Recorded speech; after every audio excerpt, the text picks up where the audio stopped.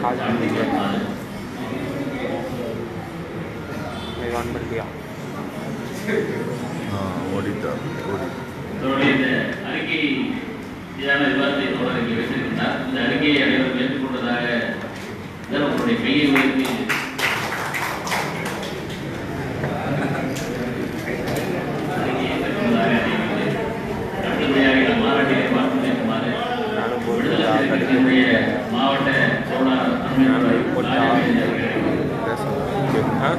பேசாது அனைவருக்கும்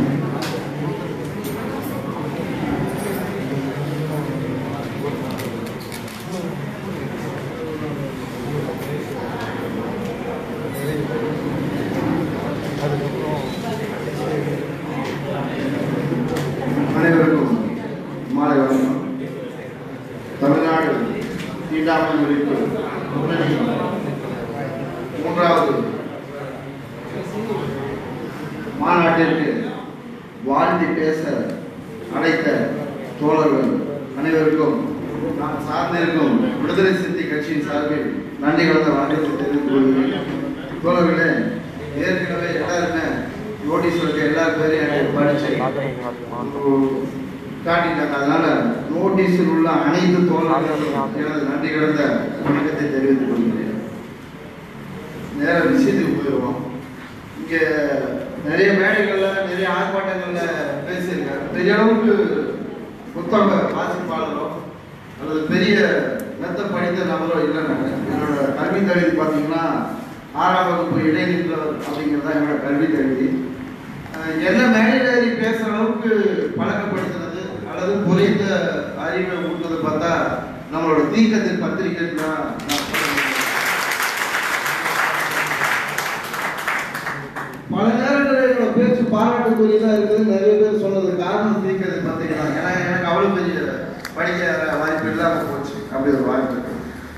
நான் பார்த்தவர்களும் நான் என்னோட சொந்த அனுபவத்திலிருந்து நிறைய கட்சிகளோட முன்னாடி பகுஜன் சமாஜ் கட்சியில மாவட்ட செயலாளராக இருந்திருக்கேன்.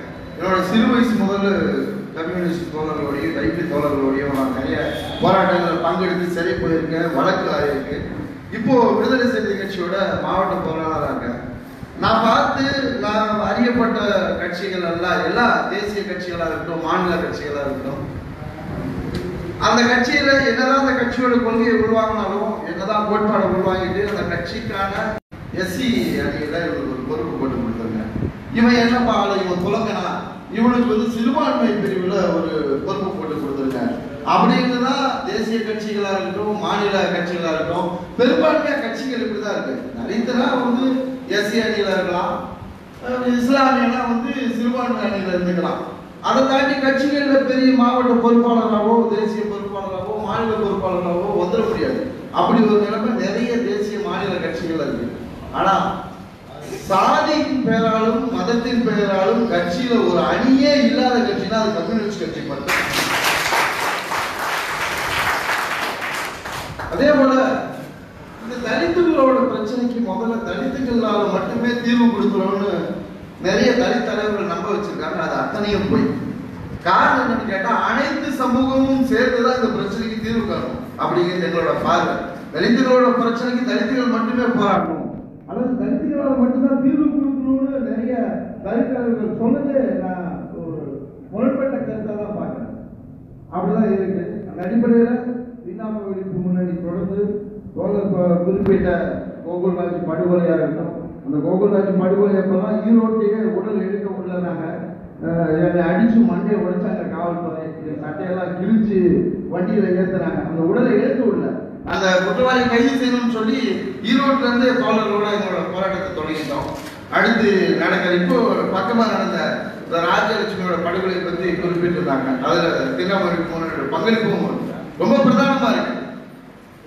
தொடர்ந்து இந்த குழந்தையோட உயிர் பதிப்பு இவ்வளவு கொடூரமா இருக்கு. தோழர் சொன்னாரு அவனுக்கு மண்ணல பாதிக்கப்பட்டுச்சு அவன் எப்படி வந்து அவன் மனைவியோ மகனையோ மருமகனையோ மச்சானியோ வெட்டாம எப்படி அந்த குழந்தைய போய் விட்டார்? தோழர் அந்த வீட்டுக்கு நான் நேரில் போனேன்.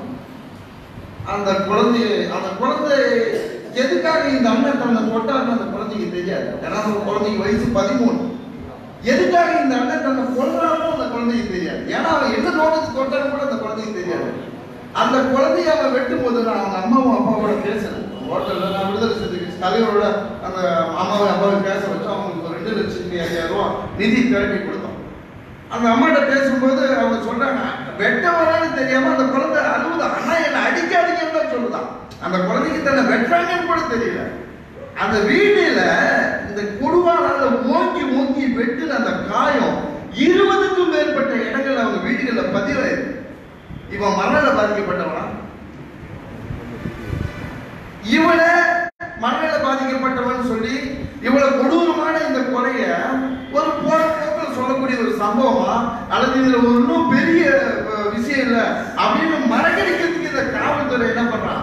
நம்மளை வந்து இப்படி ஒரு பொய்யான பிரச்சாரத்தை கட்டவிழ்த்து விடுறான் எப்படி இவ்வளவு ஒரு தைரியம் வருது ஒரு- ஒரு பச்சை குழந்தைய பதிமூணு வயசு குழந்தைய கழுத்தை வெட்டி அதோட தலையை மயத்தை பிடிச்சி எடுத்துட்டு வந்து வீதியில வீசுற அளவுக்கு ஒருத்தருக்கு எப்படி வருதுன்னா அங்க ஒரு பொது உளவியல் கட்டமைத்து விடப்பட்டிருக்கு என்ன பொது உளவியல்னா ஒரு மூணு வருஷத்துக்கு முன்னாடி அதே பகுதியில பூங்குடிங்கிற ஒரு குழந்தைய ஒரு பதிமூணு வயசு குழந்தைய ஒரு நாலு பேர் கொடூரமா கெடுத்து கொண்டு தூக்குல தொங்க விட்டான்.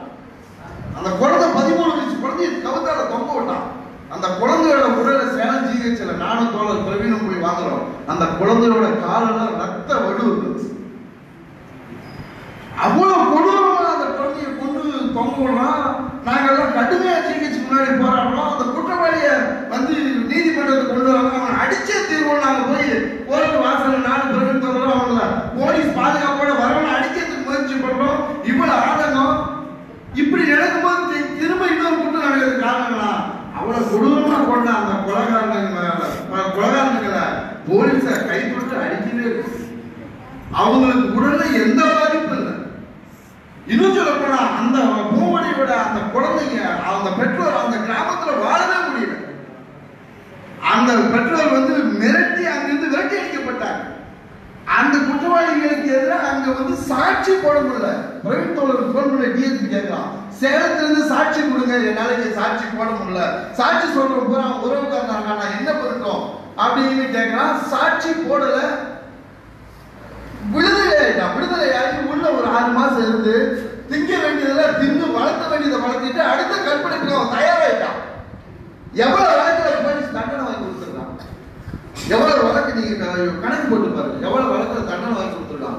எவ்வளவு வழக்குல இந்த மாதிரி குற்றச்செயல் புரிஞ்சவன